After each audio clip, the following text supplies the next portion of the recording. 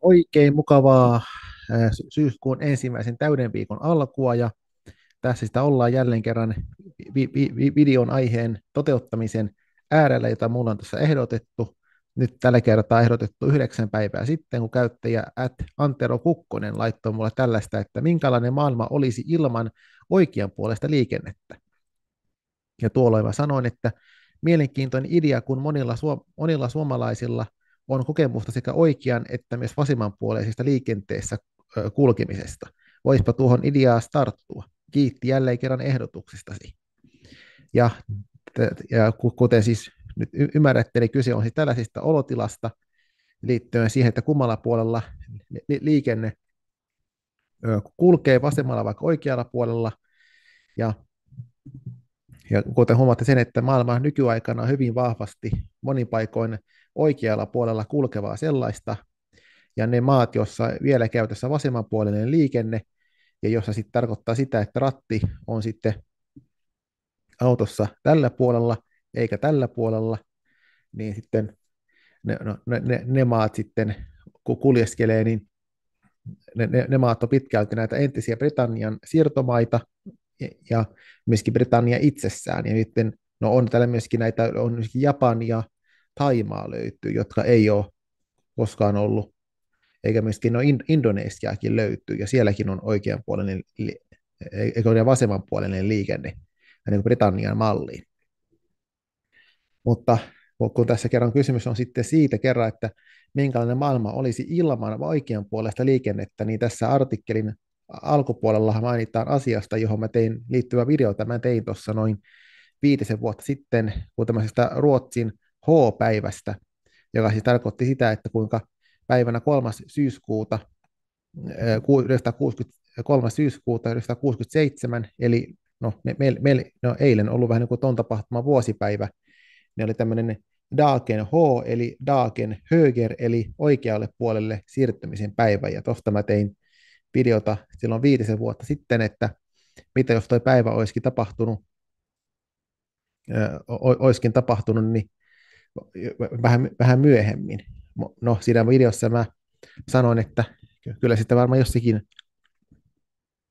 jossakin vaiheessa olisi, olisi voinut tapahtua enemmän tai myöhemmin, koska pelkästään sitten vaikka e, e, se edellisenä vuotena, seuraavana vuotena 68, niin toisessa Pohjoismaassa Islannissa siirryttiin oikean puoleiseen liikenteeseen lukuisten muiden maailmanmaiden laida, tai siirryttiin siihen vähän niin kuin yleiseen käytäntöön, että alettiin ajamaan niin vasemman puoleisin sijaan oikeaa puolta.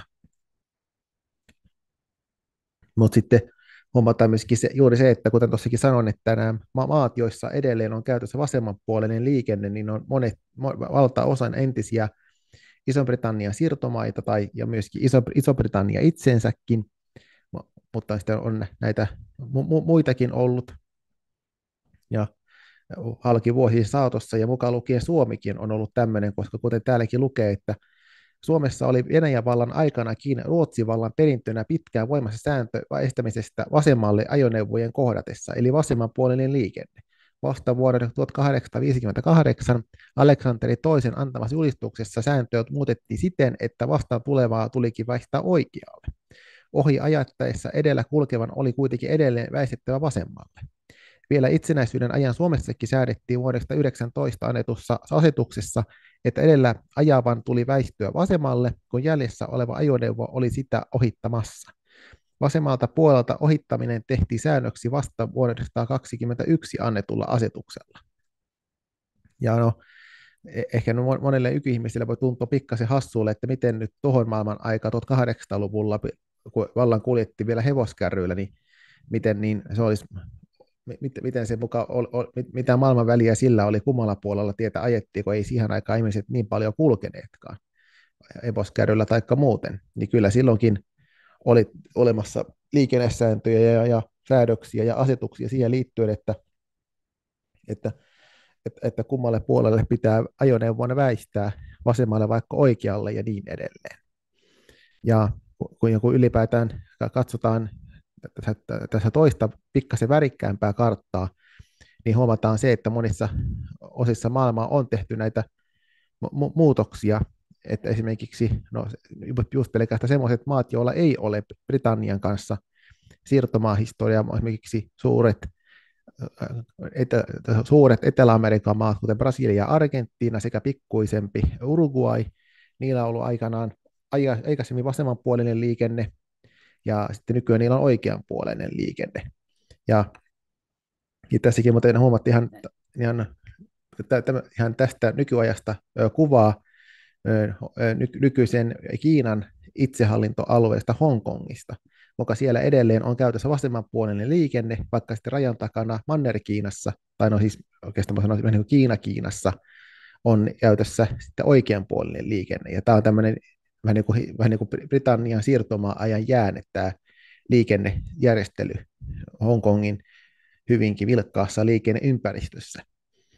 E-, että tämmöisiäkin on jäänyt olemaan, ja sitten tota, ja ylipäätään, kun mainittiin vähän Suomikin, kun tässäkin näkyy monille suomalaisille tutusta Tornio Haaparana rajasta, kuinka ennen siis, ennen siis, ennen siis syyskuuta 67, niin Suomen ja Ruotsin välistä vähän niin kuin ra- ra- rajaa vahvisti se, että Ruotsin tieliikenne oli vasemmanpuoleinen ja Suomen oikeanpuoleinen. Ja, ja sen piti ottaa tuohon aikaan vielä 60-luvulla puolivälissä niin autoilijoiden huomioon, kun ylitettiin Suomen ja Ruotsin välistä rajaa. Ja sama juttu oli myöskin vielä kauempana historiassa 30-luvulla, kun tässä oltiin Ruotsi-Norja rajalla, kuinka sielläkin piti, että no tässä tapauksessa vähän moottoripyöräilijän pyöräilijöiden ottaa huomioon se, että kun ylitetään valtion raja Norjasta Ruotsiin tai Ruotsista Norjaan, niin myöskin se ajamisen puoli muuttuu selvästi. Ja sitten kun tässä myöskin ja, ja nostaa vielä esille muutamia tämmöisiä systeemeitä, että kuinka sitten kuinka sitten tota, eräissä maissa on tehty muutoksia näihin tie, tie, tieliikenteen puoliasioihin sen mukaan, kuinka valtion hallinnolliset systeemit on muuttunut, kuten tässä näkyy keski-eurooppalainen Itävalta, jossa vaihdettiin 20-30-lukujen aikana niin tien puolta vasemmalta oikealle vähän, vähän vaiheittain, että Wallerbergissä, joka on siis tuossa vähän niin kuin Sveitsin, Sveitsin ja Liechtensteinin kanssa omaa maarajaa osavaltiona. Siellä otettiin jo 21 vuonna oikeanpuoleinen liikenne käyttöön, ja sitten, sitten oli näitä Pohjois-Tirolia ja Kärtteniä ja Itä-Tirolia sitä 30-luvun puolella, ja sitten vuonna 1938 otettiin koko maassa käyttöön oikeanpuoleinen liikenne, ja no, mitäpä, mitäs muuta tapahtui Itävallassa vuonna 1938? No, siellä päädyttiin Saksan alaisuuteen erään Adolf-nimisen hallitsijan taholta, mutta en, en, en mene siihen enää sen syvemmälle. Sitten yksi toinenkin puoli on tämä täällä, niin tässä, joo, nämä molemmat Koreat, pohjoinen että etelä, kuinka siellä siirryttiin sitten vuoden 1945 jälkeen niin oikeaan puoleiseen liikenteeseen, kun silloin, silloin loppui tämä Japanin keisarikunnan miehitys Korean niemimaalla, niin molemmissa osissa sekä pohjoisessa että etelässä vaihdettiin ajamisen tien suuntaa. Et monesti juuri tämmöinen iso muuttuja, tai ehkä tämmöinen, voisi sanoa, en osaa muuttuja, mutta ne jonkinlainen yhdistäjä sitten, niin kuin molemmissa päissä Korean niemimaata, että jos sitten jonain päivänä Koreat yhdistyy, niin, niin sitten varmaan myöskin sitten ainakin se ainakin vaikka monet muut asiat voi olla hyvinkin hankalasti, niin ainakin aja, aja, tie, tie, a, autotiellä kulkemisen puoli on hyvin samanlainen molemmissa osissa niemimaata. Ja sitten vielä yksi esimerkki,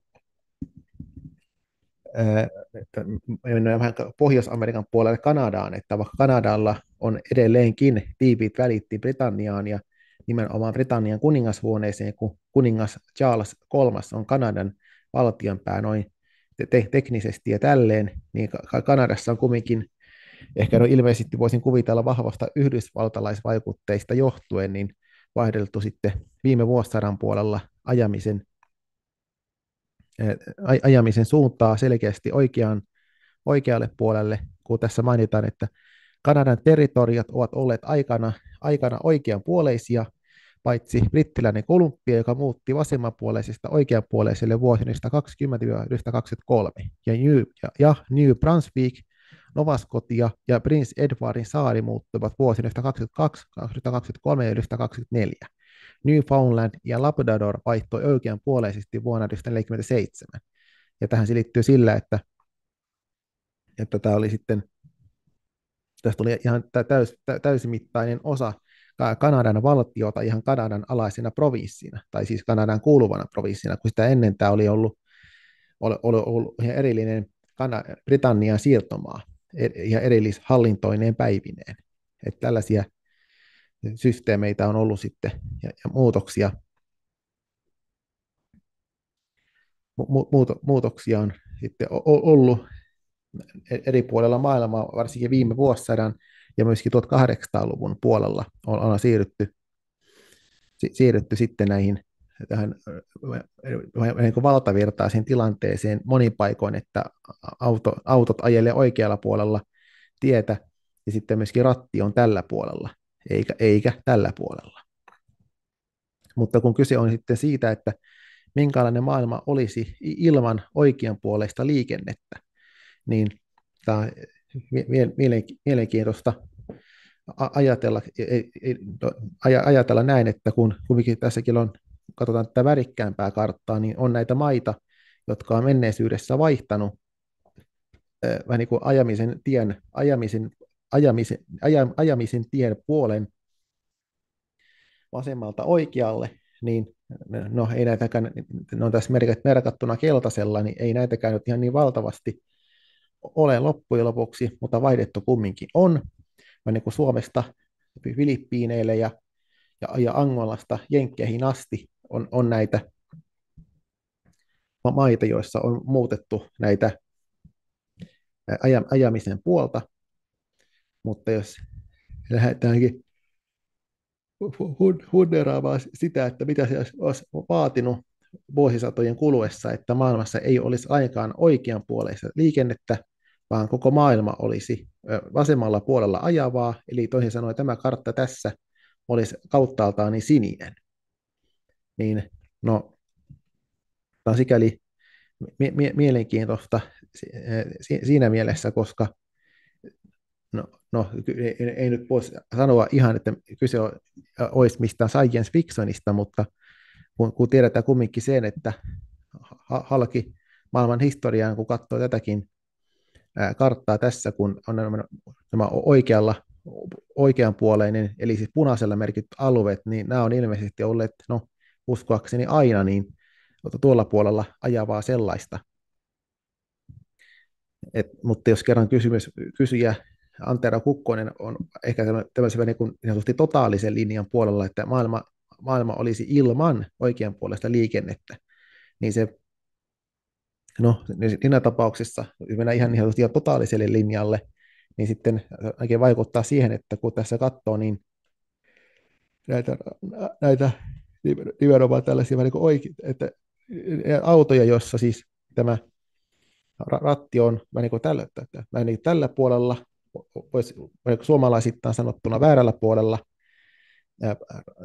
väärällä puolella, väärällä puolella autoa, niin silloin kauttaaltaan niin koko tämä liikennekulttuuri olisi kautta maailman hyvinkin toisenlaista. Ja se vaikuttaisi ylipäätään tämmöiseen matkustajakokemukseen, jopa niin sanotun apukuskin kautta pelkäjän paikalla. Että pitäisi, jos kerran kuljettaja, vaikka tässäkin kuvassa kuski on tällä puolella, niin sen kuskin vieressä apukuskin paikalla olevan ihmisen pitäisi olla ihan eri tavalla tarkkana kuin se, että jos auto, autoratti olisikin tällä puolella, niin sitten, niin, niin si, sitten se tekisi koko liikennekulttuurista kautta maailman hyvinkin erityyppistä, että oltaisiin sitten vaikka täällä eteläisessä Afrikassa tai sitten Euroopassa tai missä tahansa, niin sitten ihan monessa suhteessa niin tie, tieliikennekulttuuri olisi hyvinkin toisenlaista, ja kuten sanoin, niin sitten myöskin ratit olisi olisi tällä puolella paikkoja, tällä puolella autoa, mutta sitten toisaalta pitää muistaa se, että jos kerran kautta maailman autoissa joka ainoassa oli sitten jopa ihan siviiliauto tai sitten vaikka joku sotilasajoneuvo, niin sitten ratti olisi niin kuin tällä puolella aivan kaikkialla maailmassa yhteiskunnasta ja kulttuurista riippumatta, niin silloin kyllä ei, ei kylläkään puhuttaisi mistään ratista väärällä, paik- väärällä paikalla, kun autoratti olisi kaikkialla maailmassa, niin nimenomaan tällä, tällä puolella maailmaa ihan, ihan, ihan, ihan selkeästi. Ja eikä siis, ja, ja, ja no, no, vois, joku voisi ajatella näin, että kun kerran tälläkin hetkellä ihan oikeastikin tämä vasemmanpuolinen liikenne on käytössä pitkälti vain näissä Isossa Britanniassa ja entisissä siirtomaissa, niin olisiko sitten vaatinut vähän sitä, että, että vaikka Britannialla oli vielä edellisen vuosisadan puolella hyvinkin laaja siirtoma-imperiumi, niin että jos siitä olisi tullut vieläkin laajempi tuolla valtaverten takana, niin sitten se olisi voinut johtaa siihen, että, että jopa, jopa tässäkin hetkessä ihan oikeasti 23, niin olisi, tämä kartta tässä näin olisi vieläkin enemmän sinisellä. No, voisi ajatella, ehkä noinkin voisi ehkä ajatellakin, mutta kun katsotaan tarkemmin tätä karttaa, tätä värikkäämpää karttaa, jossa näkyy näitä, näitä muutoksia vuosisatojen kuluessa, ja kun katsoo nimenomaan näitä, näitä ma- ma- maailmankolkkia, jotka on ilmeisesti e-, enemmän tai vähemmän olleet aina niin kuin oikealla puolella ajavaa, niin, niin monet näistä punaisella pysyvistä maailmankolkista, niin tai punaisella olevista maailmankolkista, niin ne no, joillakin on siirtomaa historiaa Britannian alaisuudessa ja jo, jo, toisilla taas ei. Että se ei ole nämä kysymykset, että kummalla puolella ää, ää, tietä ajetaan kyseisessä valtiossa, niin se ei ole, se ei ole aina riippuvainen siitä, että mikä on ollut sen valtion tai maailmankolkan historia ennen kaikkea suhteessa Iso-Britannian nimiseen suurvaltaan. Että si- si- kun tässäkin näkyy heti kun Jenkkilän, Jenkkilän alapuolella on tämä Meksiko, niin sehän oli vahvasti Espanjan hallussa siirtomaa ajan, niin ei siellä britannialaiset paljon ole heiluneet pystyt kourassa tai muuten yrittäneet hallita, vaan siellä on ihan Espanjan valta ollut vahva ja myöskin täällä Afrikassakin, niin monethan nämä, nämä, nämä maat, jotka on ollut, jotka on tällä hetkellä ja olet ilmeisesti aina niin kuin oikealla puolella, oikealla puolella, niin sitten niin, niin näistä monilla ei ole Britannian siirtovaa historia takana, joka tässä näkyy tämä, iso, tämä Kongon demokraattinen tasavalta, entinen Tsaiden, niin sehän oli entinen Belgian siirtomaa esimerkiksi että se on että se ei, ei ole tällaisista aiheista to, todellakaan riippuvainen, että, et, et, että jos ajateltaisiin, että, että, että, että koko tämä kartta tässä näin olisi vasemmanpuoleista, vasemmanpuoleisen, vasemmanpuoleisen liikenteen alaisuudessa kautta kokonaan sinistä, niin niin se ei todellakaan, va, todellakaan vaati sitä, että Britannia olisi pitänyt pistää ihan, ihan hösseliksi kaikkialla maailmassa ja ottaa vielä enemmän siirtomaita haltuunsa ja silleen. Että näin se vaan, näin se vaan on. Ja mitä tulee nyt ihan näihin tämän päivän järjestelyihin, niin no, kun tässä Britanniasta ollaan paljon puhuttu, niin tässä on tätä vasemman puolesta liikennettä M25-moottoritiellä Britanniassa ihan tästä lähimenneisyydestä. No sitten, no, näin, näin kansankielisesti sanottuna, niin koko maailman liikenne autoilun saralla olisi tämän näköistä. Oltiin sitten Britanniassa, Suomessa tai missä tahansa. Että tämmöinen se olisi monin paikoin. Ei sitä, hyvin huomataan se, että, että tuolla lailla siellä todennäköisesti se tieliikenne sitten olisi ihan, ihan kaikkialla maailmassa. Näin se varma, vahvasti on näin. Kyllä se, joo, ja kun tässäkin, ja kun puhuin, puhuin vielä niistä, että, että, että mitkä ne nämä maailmankolkat, jotka on tällä hetkellä tieliikenteen saralla oikeapuoleisia, niin, niin se no, tuossa jo mainitsin jo nämä Itävallan, Itävallan ja Korean niemimaa, niin ei ole historiaa takanaan Britannian alaisuudessa, mutta niin, silti, niin siltikin niin ollaan pysytty sitten vankasti oikeanpuoleisessa, eikä olla edes oltu vasemmalla autoilu, autoiluliikenteen saralla. Ja no, jos mennään vielä hetkeksi näihin, nä, näihin tota, systeemeihin, että, että kaikissa henkilöautoissa kautta maailman niin ratti olisi sitten tuolla puolella, niin no, voisi äkkiseltään tuntua varsinkin meistä, jotka asuu näissä punaisella merkityissä, maissa, merkityissä maissa, että olisi aika outoa, että ratti olisikin tuolla puolella ja vaikka ei itse ajaiskaan, niin olisi vain kyytiläisenä, niin siltikin se voisi tuntua, monista voi tuntua vähän erikoiselle. Ja, ja, ja tälleen, niin jo, sitä sanotaan, että ihminen on, on sopeutuvainen, sopeutuvainen olento, ja jos kerran kautta maailmaa, niin ratti olisi niin tuolla puolella auton, autoa, niin ei se tässä vaihtoehtoisessa todellisuudessa vuonna 2023 tuntuisi mitenkään omituiselle, että ihan sama missä päin maapalloa kuljettaisiin, niin ratti olisi tuolla puolella ja, ja tie, tie näyttäisi, tiellä ajaminen näyttäisi kanssa sitten tuolta.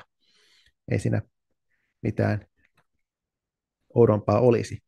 Ja, ja, ja sitten lisäksi, ihan kun tässäkin on tästä Britanniasta paljon puhunut ja, ja huomannut sen jo moneen kertaan, että monet nämä vasemmanpuoleisen liikenteen kä- käytössä pitävät ma- valtiot on pitkälti sekä Britannia itsessään että sen entisiä siirtomaita valtamerten takana, niitä, joita näitä Japania ja Taimaatia ja Indonesia lukuun ottamatta pitkälti, niin, niin eräs voin itse kertoa sellaisen syyn, mihin moni pelkästään suomalainen pystyy samaistumaan, että kun mäkin on, on kolmesti käynyt reissun päällä Britanniassa, niin, niin ke, ke, ke, yhdelläkään kertaa niistä reissusta niin ei olla mun, mun ja olen, olen ollut nimen kaikilla reissuilla iskäni kanssa reissussa, niin että ei olla koskaan otettu niin, otettu niin vuokra-autoa, koska mun iskä on, on todennut, että ei hän oikein osaa oikein ajella vasemmanpuoleiseen liikenteen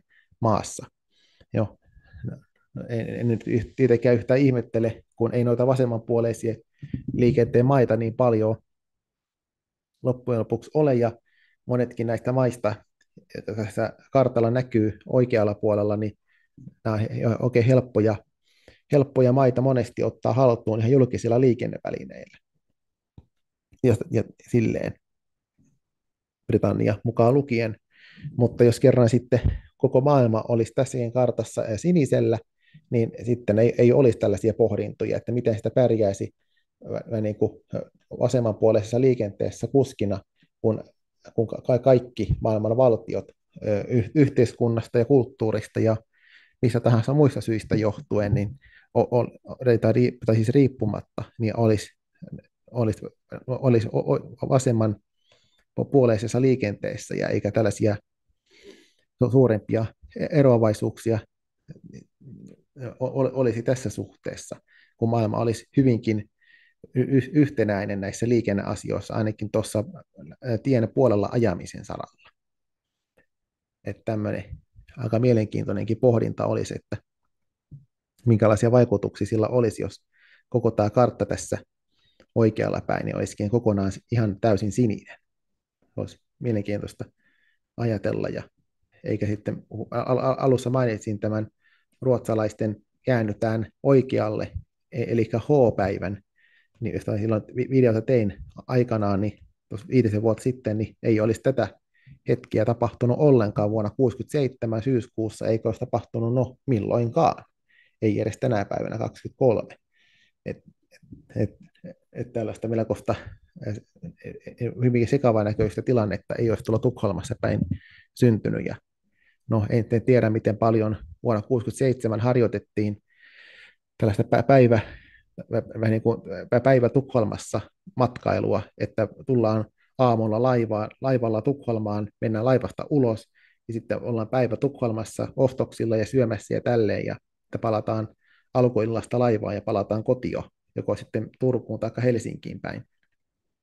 Niin, mutta jos kerran olisikin joku suomalaisturisti ollut tuona päivänä Tukholmassa ja nähnyt tuon suuren muutoksen, niin varmasti on ollut hieman pikkasen ehkä vähän ihmeessä, että mitäs tällä Svenssoneitten maassa oikein tapahtuu, kun tämmöistä käännytään vasemmalta oikealle niin, niin autoilun saralla. joo. Mutta joo, että olisi tämmöinenkin pelkästään Ruotsin, Ruotsin lähihistorian hyvinkin erikoislaatuinen päivä, niin olisi jäänyt, jäänyt tapahtumatta. Joo, mutta, mutta eipä mitään, että kiitoksia vaan Antero Kukkonen jälleen kerran ehdotuksesta, että tähän oli su- suhteellisen helppo tarttua tähänkin aiheeseen, kun on tuossa kanavan, alkuvaihe, kanavan historian suhkot alkuvaiheessa tein videota vähän tuohon näihin asioihin liittyen, tietenkin tähän Ruotsin H-päivään liittyen silloin, niin ja sen verran, miskin olen, kun olen yli 30 maassa reissannut, niin niihin on mahtunut myöskin näitä mu- muutama maa, jotka ajaa, jossa ajetaan vasemmalla puolella autoliikenteessä, eli no, tulee tuo Britannia, Irlanti, sitten Malesia ja Indonesia, niin siellä on, ja sitten Singaporessakin varmaan, ja Singaporessakin on sitten kanssa, kun entinen Britannian siirtomaa sekin on, niin sitä kautta on tämmöisetkin liikenneeroavaisuudet tullut tutuksi tuolla pikkasen lähempänä ja sitten vähän kauempanakin. Mutta vielä kerran kiitoksia niin Antero Kukkonen niin ehdotuksesta ja ehdottele ihmeessä vaan lisää, jos siltä vaan tuntuu. Joo, ja sen, sen lisäksi mä ajattelin tähän loppuun myöskin tehdä tästä ilmoitusluonteista asiaa, että, että olen, olen tässä ajatellut tässä alkusyksystä, että, alkusyksystä, että minkälaisia, minkälaista aiheista videota tekisi ja mistä voisi inspiraatiota löytyä, niin mä tuossa jonkin aika sitten ostin, oikein tilasin netissä tämmöisen tunnetun historioitsijan kun Martti Häikkiön teoksen Historia ja väärät profeetat, kirjoituksia Suomen historian kipupisteistä.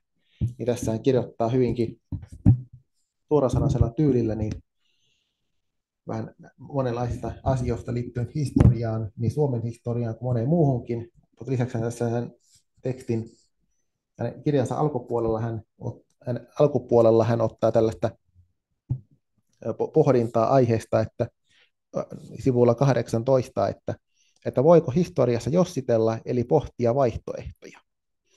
Ja mä otan tässä tämän, tässä niin, niin mielenkiintoista asiaa, että mä otan tässä ihan kunnon, oikein kunnon pitkän lainauksen aukeamalta 18, 19 ja sitten mennään vielä sivun 20 puolelle.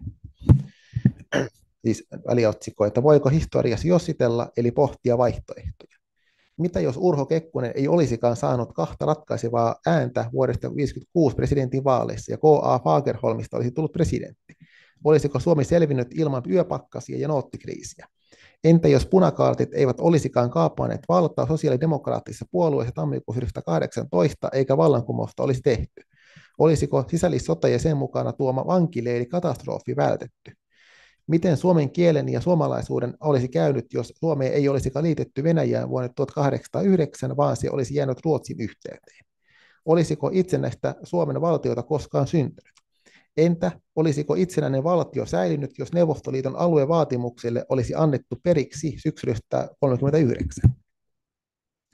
Jokainen, joka on pitänyt luentoja suurelle yleisölle Suomen historiassa, tietää, että tämän tapaiset kysymykset askarruttavat ihmisten mieltä. Isänmaan historiaa luetaan useinkin samoissa syistä, kun ihmiset pohtivat oman elämänsä valintatilanteita. Halutaan tietää, olisiko ollut vaihtoehtoja, olisiko voitu menetellä toisin. Sitten väliotsikko, mitä olisi tapahtunut, jos historian ammattitutkijoiden vakio vastaus näihin kysymyksiin on tyly. Voimme tutkia tieteellisesti, eli lähteisiin nojaten ainoastaan sitä, mikä on tapahtunut. Historia ei ole luonnontiede, joka voi ennustaa tarkasti seuraavan auringon pimennyksen ja melko luotettavasti huomisen lumisateen. Ihmisen toimintaan sisältyy arvaamattomuutta, minkä vuoksi sitä on erittäin vaikea ennustaa.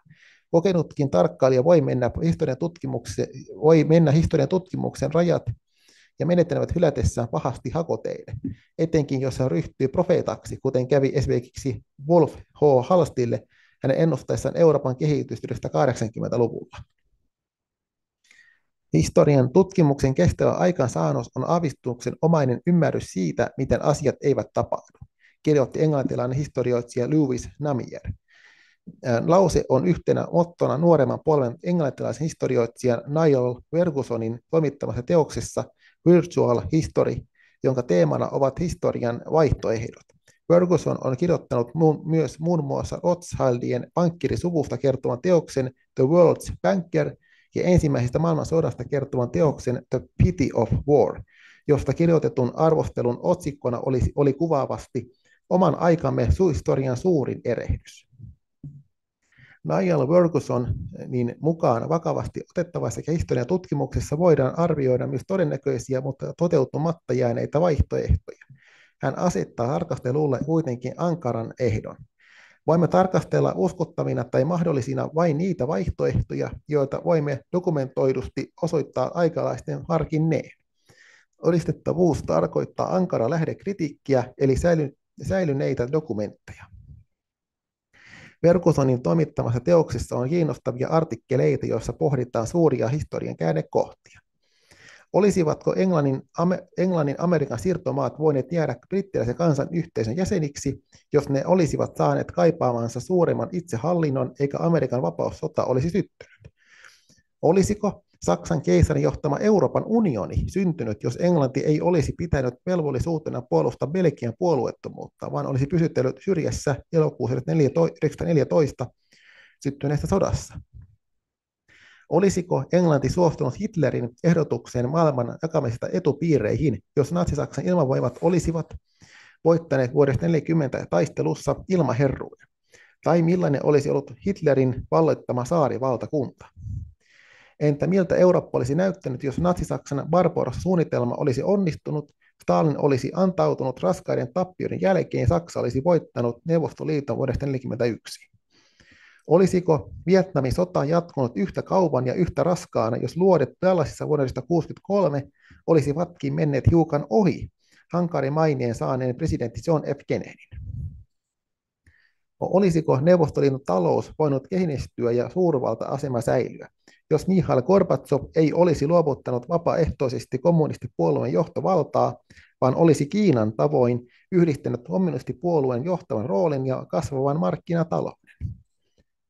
Useinkaan se, mitä todellisuudessa on tapahtunut, ei ollut aikalaisten enemmistön mielestä, mielestä todennäköistä.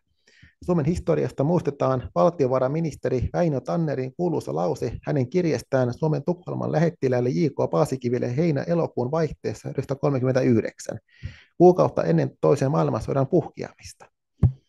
Minä en usko sotaan, niin järjettömäksi ei maailma voi tulla. Onko silloin järkevää tehdä taloudellinen asema kestämättömäksi käyttämällä nyt jo kaikki resurssinsa?